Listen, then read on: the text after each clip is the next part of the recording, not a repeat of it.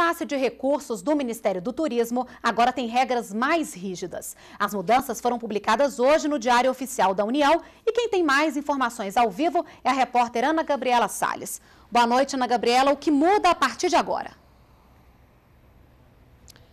Boa noite, Renata. Agora só podem receber apoio do Ministério do Turismo eventos tradicionais ou de grande conhecimento popular, que tenham sido realizados há no mínimo três edições. Além disso, todos os projetos devem ser apresentados com pelo menos 50 dias de antecedência para análise do Ministério. Antes não havia um prazo determinado. Outra mudança é no limite do repasse para eventos voltados uh, para o desenvolvimento turístico. Passou de 500 mil reais para 400 mil.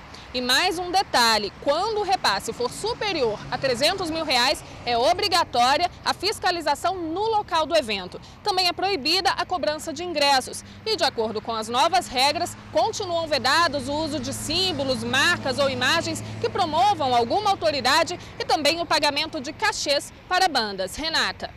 Obrigada pelas informações, Ana Gabriela.